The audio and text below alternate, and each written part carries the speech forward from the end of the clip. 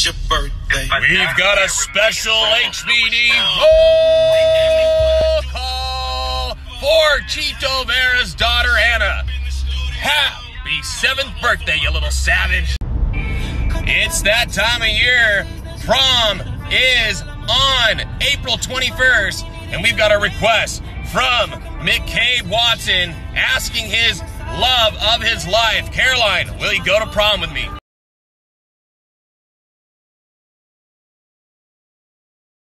Right next door to the watering hole. Oh, pardon you. Is preferred graphics, fine art, and custom framing. Pardon me.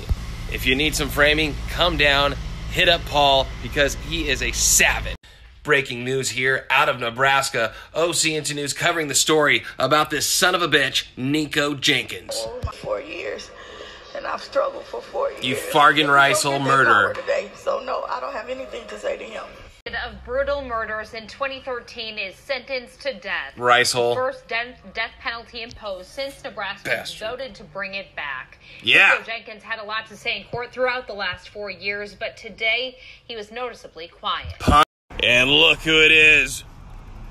What are we working with today, buddy? This uh, new bike, Trek full suspension. Just got it. Super sick. Wow. Next level now, huh? Yeah. So if we sold the other bike, No, we have not. I'll Ryder, come on, we did a whole promotion. How did we not close the deal? Uh, we can sell it right now, $125. All right, he's dropped the price, 125 now. You still wheeling in? Here comes the wheelie king of California. Ryder throwing it down like a boss. Yeah, Ryder, killing it on his new track with a nose pick. We salute you on this day, Ryder. Ha! This just in, hot off the press. Real news, fake news, or OC Insta news. We've got a breaking story out of Venice Beach. A young man by the name of Colby the Milkman has amputated his own nut. It's very gay. Ten minutes later, um, my nut still hurt. Got a hole in my pants. Sent it.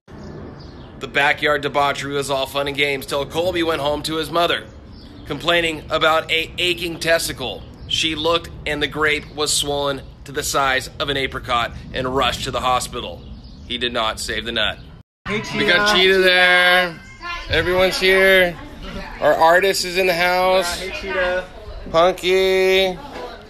Little fam's here. Doug man. About to bite into a cupcake to determine what sex they're gonna have with their child. She's going in for the bite. Oh, Bo's gonna actually bite it. You want some? Are you saying hi to everybody? What will the flavor be? Looks like looks like everybody's filming. They've got their intentions. Big bite. We've got more filming going on here. This is great stuff. What does it look like? I'm claiming it's a boy. Oh my gosh. Oh.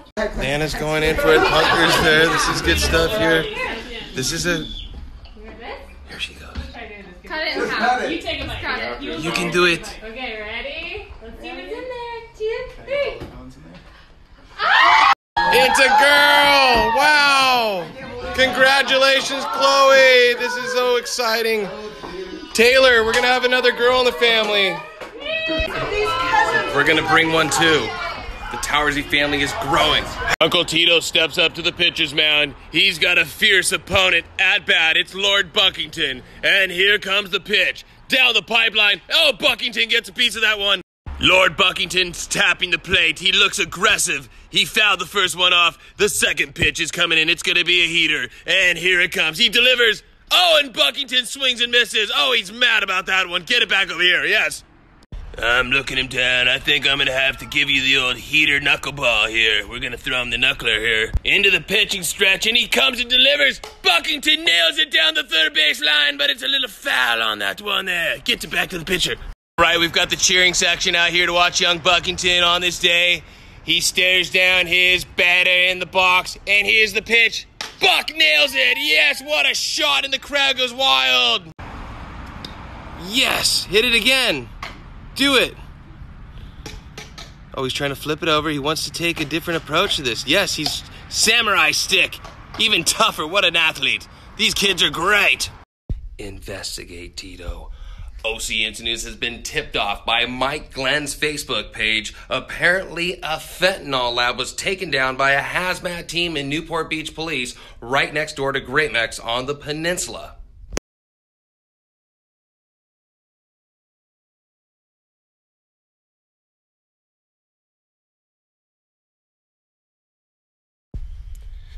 We salute you, Mike Glenn, for your in depth investigation on the busted up fentanyl lab. Head over to his Facebook page, check out all these amazing photos, and let's send these methers to jail. This is Uncle Tito, signing off.